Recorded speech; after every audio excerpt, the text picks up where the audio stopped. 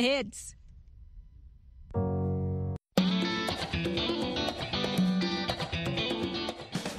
Welcome to Learning English, a daily 30 minute program from the Voice of America. I'm Jonathan Evans. And I'm Ashley Thompson. This program is aimed at English learners, so we speak a little slower and we use words and phrases especially written for people learning English. Today on the program, you will hear from John Russell and Alice Bryant. Later, we will present our American history series, The Making of a Nation. But first, here is John Russell. Taiwanese officials will lift a ban on pig meat imports from the United States. Taiwan's parliament gave the final approval to the move last week.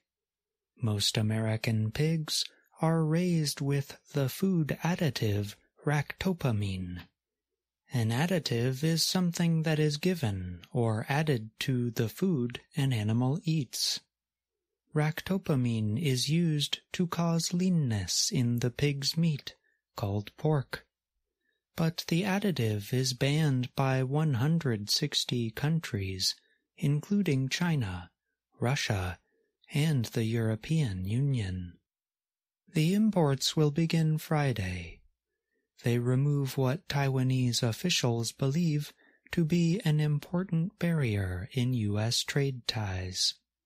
Freddie Lim is a Taiwanese lawmaker. He said recently, when I've made visits to the United States, the U.S. representatives would always bring up this topic, and now this issue that kept being brought up is out of the way. Lim said he felt optimistic or good given past experiences and reactions. Officials in Taiwan have tried since 1994 for a free trade deal with the United States. Lu Yi-chun is a public affairs professor at Fo-Guang University in Taiwan. Lu recently said that Taiwan has to fully engage into active international trade with foreign countries. Taiwan Premier Su Tseng-chang told Parliament in November that the United States was Taiwan's most powerful ally. He also explained that his government would require inspections at American meat factories and clear product labeling to protect food safety. Until now, Taiwan has avoided American pork because of the idea that ractopamine could be linked to human health problems. Government-operated Central News Agency reported in November that lifting the ban could help support efforts for a trade deal with the United States. Taiwan's President Tsai Ing-wen announced in August the possibility of letting in American pork.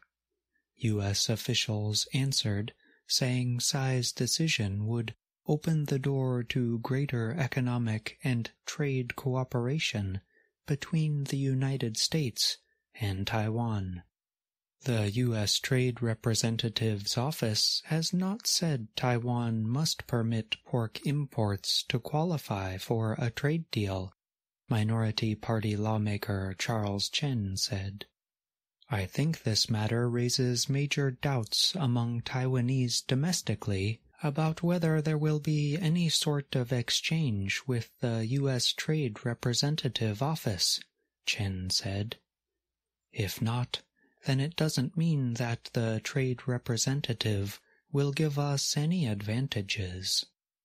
Chen's opposition Nationalist Party notably opposed the deal. I'm John Russell. Scientists in Italy have uncovered a fast food eatery in the ancient Roman town of Pompeii. The remains help in the understanding of foods that were popular among Pompeii's citizens. Pompeii Archaeological Park's chief, Massimo Osanna, said Saturday that about 80 such fast food eateries have been found at Pompeii. But the latest find is the first time that a hot food drink eatery known as a thermopolium was completely uncovered.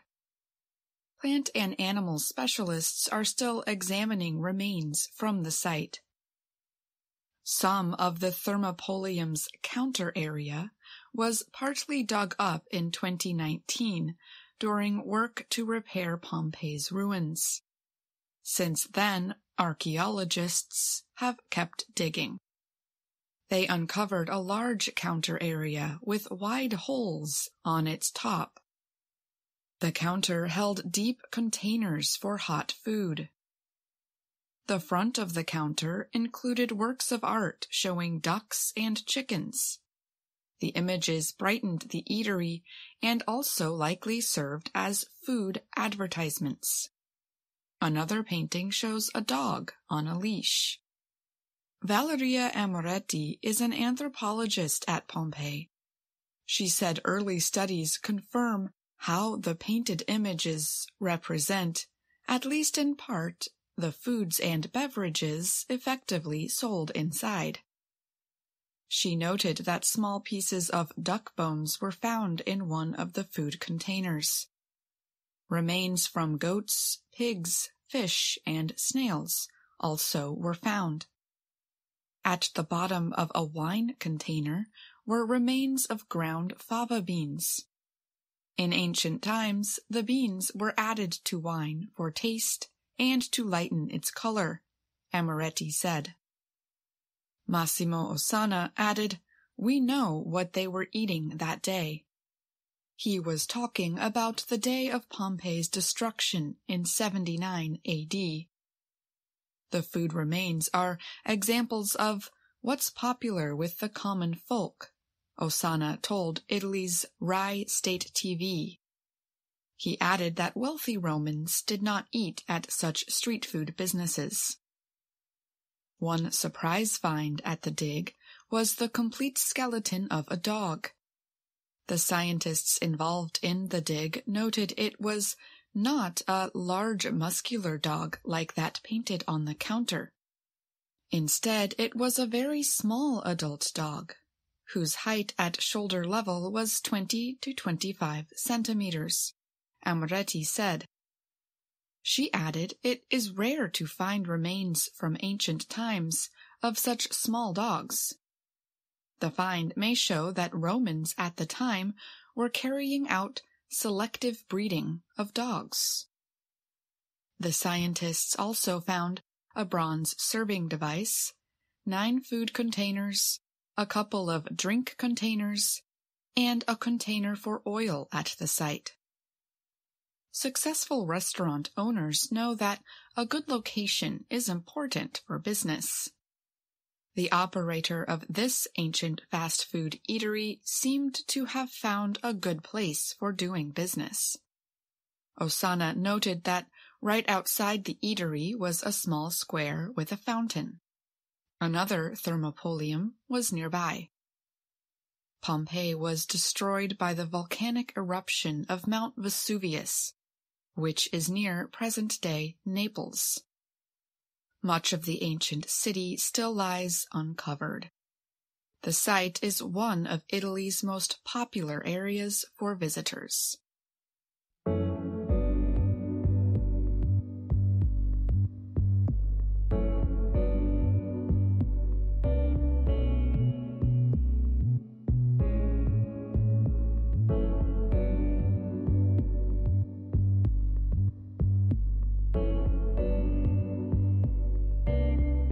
The new year can come on different dates for different cultures. Most of the Western world, for example, celebrates it on January 1st. But one thing many cultures have in common is the idea of New Year's resolutions. A New Year's resolution is a personal goal to change unwanted behavior, make a life improvement, or try something new. Popular New Year's resolutions in the United States, for example, include losing weight, improving your finances, volunteering for a charity, and spending less time on social media. On today's Everyday Grammar, we will show you how to talk about resolutions in English.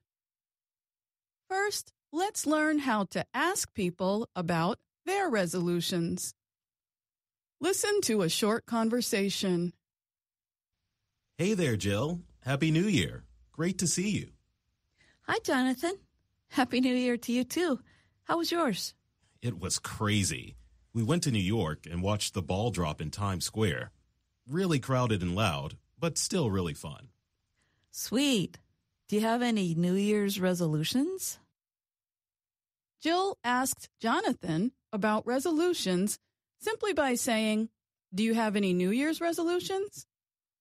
You can also say, What are your New Year's resolutions? to ask about more than one, or What is your New Year's resolution? to ask about one. Now, let's find out how to answer the question. When we make statements about our resolutions, we often use phrasal verbs. We can use the phrasal verb take up to say that we will start a new activity as a hobby. Listen to Jill and Jonathan continue their conversation. Sweet. Do you have any New Year's resolutions? Yes, I do. I plan to take up kickboxing starting next week. I'm excited to finally do it rather than just talk about it. How about you? Another phrasal verb for resolutions is give up, which is to stop doing or using something. We can use this verb to talk about ending bad habits or changing a behavior for a time. Let's hear Jill respond by using the verb give up. How about you? I'm giving up sugar for the month of January. Then for the rest of the year, I'm avoiding soft drinks. Impressive. I wish I could join you, but kickboxing class starts soon. I'll probably want a sweet snack after class. Another phrasal verb, cut out, has the same basic meaning as give up. For example, Jill could say, I am cutting out sugar for the month of January. But in many situations, we do not need phrasal verbs to talk about resolutions, as you will soon see. Next, let's talk about verb tenses and forms. Jonathan talked about his new kickboxing hobby using the verb plan followed by the infinitive verb form. And Jill talked about giving up sugar using the present continuous verb tense, also called be plus ing. We can also use the simple future tenses, one with will and the other with going to. These tenses are especially useful when the new year has not come yet. Imagine it's the last week of the year and a few people are talking to each other about resolutions. Here are some things you might hear.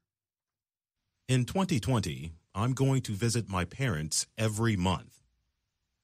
By January 1st, I will end a few unhealthy friendships.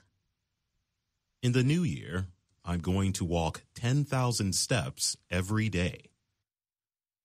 When we use simple future tenses to talk about resolutions, we're expressing that we are making a promise to or plan for ourselves. The noun resolution comes from the verb resolve, which means to make a serious decision to do something. You may have noticed that the statements so far today did not actually use the word resolution. That is because the subject was already known by the listeners. But it is still perfectly normal to start your statements with my New Year's resolution is, or my New Year's resolutions are. An infinitive verb or a gerund must come after these phrases Here is an example. My New Year's resolution is to call my sister on video chat every week. The infinitive verb here is to call. You can also use a gerund, like this. My New Year's resolution is calling my sister on video chat every week. Well, that's all for today's program. Tell us about your New Year's resolutions in the comments below.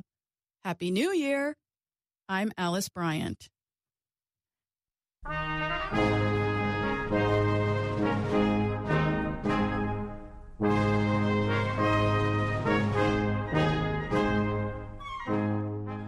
Welcome to The Making of a Nation American History in VOA Special English.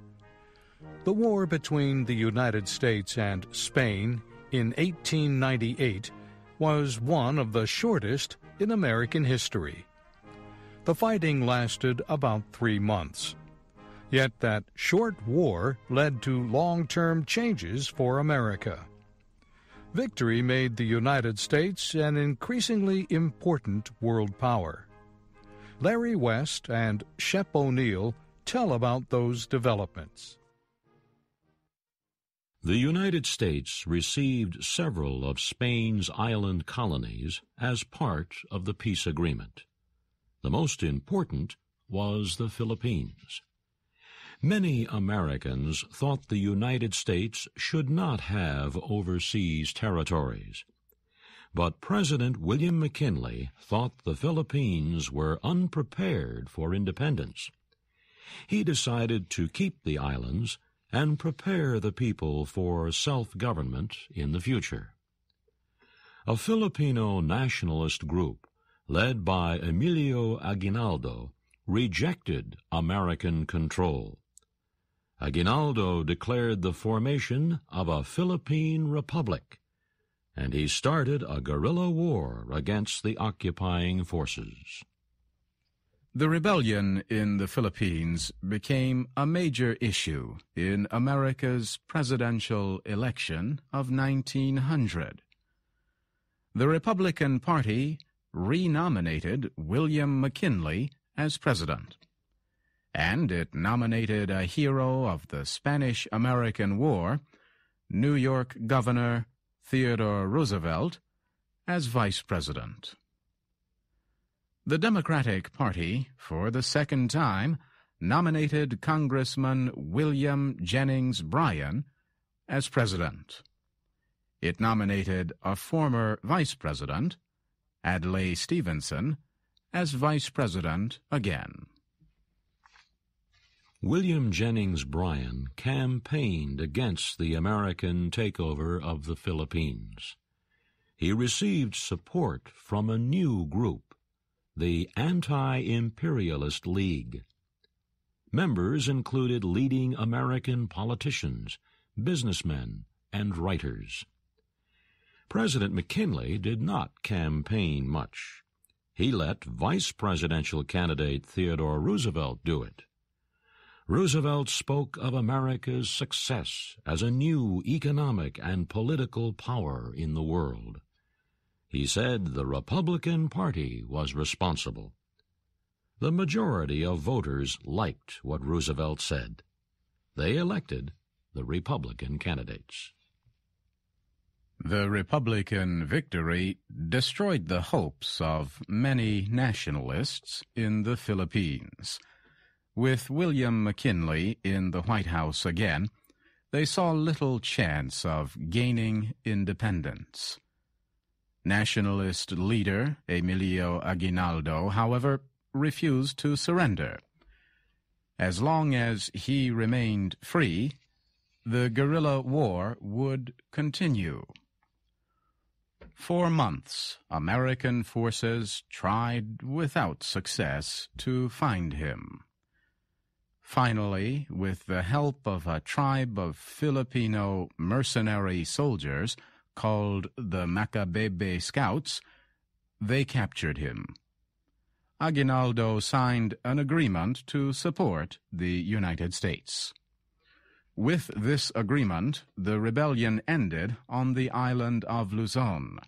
but it continued for more than a year in the southern Philippines. Hostilities ended officially on July 4th, 1902. American occupation of the Philippines made the United States a major power in the Far East. As such, it began to develop new policies toward Asia, especially a new policy toward China. Americans had been trading with China for years, but not heavily. As the American economy grew, however, businessmen saw China with a population of 400 million people, as a great market for American products. Other countries were interested in this market too. Britain, France, Germany, Japan, and Russia all claimed special rights in parts of China. They began to divide the country into areas called spheres of influence. It seemed these areas could become foreign colonies. Then the United States would be cut off from trading directly with China.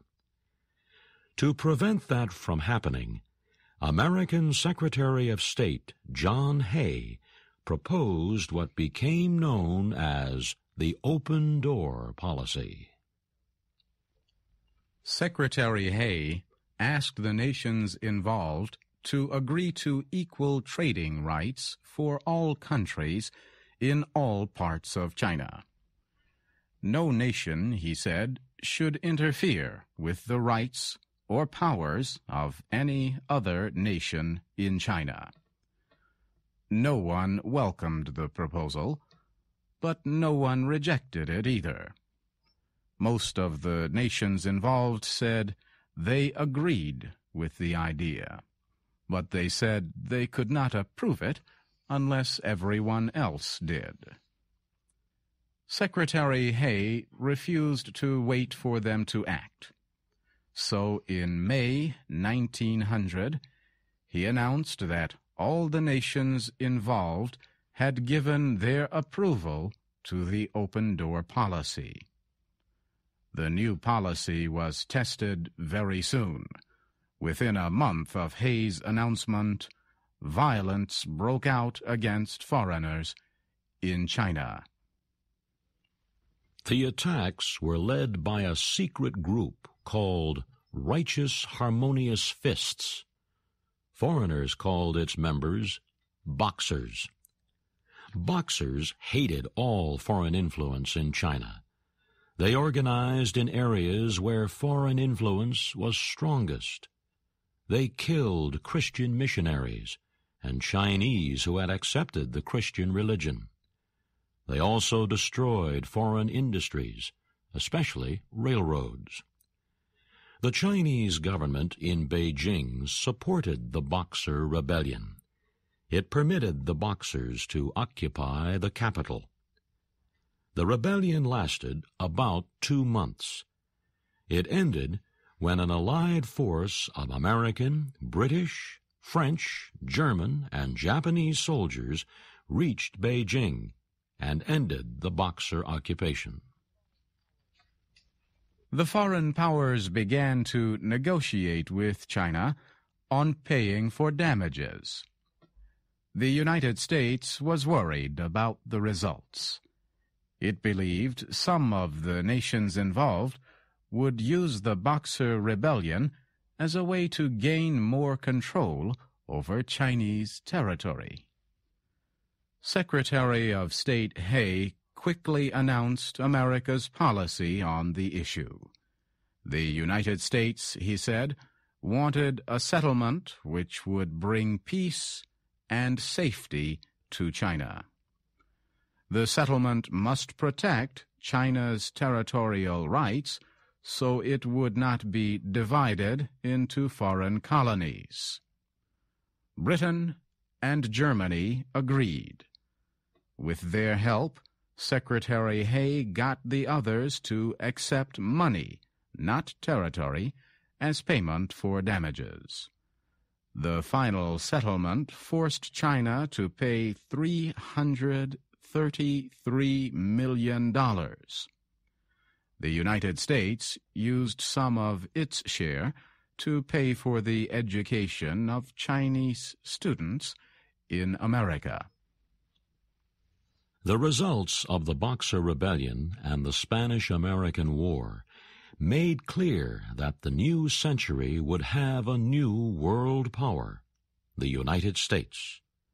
And this new power had a president with the political skills to do the job, William McKinley. In September 1901, President McKinley made a major foreign policy speech at the Pan American Fair in Buffalo, New York. He spoke about the importance and the promise of America's new position in the world. The next day, President McKinley went to the fair's Temple of Music. He planned to spend several hours meeting the public and shaking hands. A young man waited in line to see him. When the young man stepped in front of McKinley, McKinley reached out to shake his hand. Two shots rang out from a gun the man had hidden under a cloth. One of the bullets struck McKinley in the stomach. The president was taken to an emergency hospital on the fairgrounds. He was not conscious. The bullet had damaged his stomach, pancreas, and one kidney, but doctors did not believe he was in danger of dying.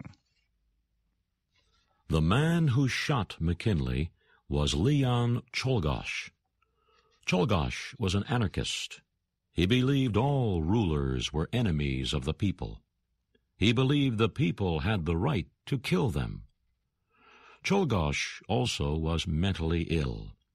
He had tried to join several anarchist groups. They refused to accept him, however, because of his mental condition.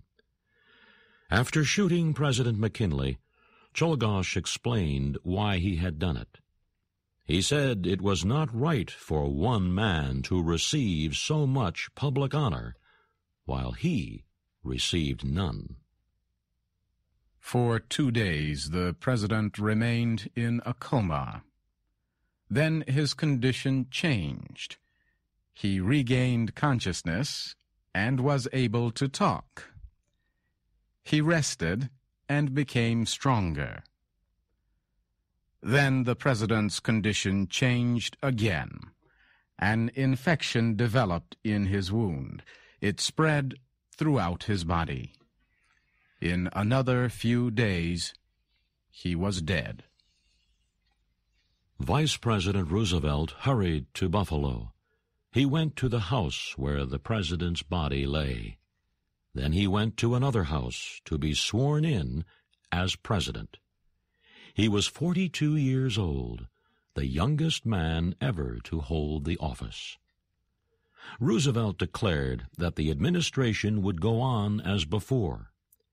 It is my aim, he said, to continue unbroken the policy of President McKinley for the peace, the prosperity, and the honor of our beloved country.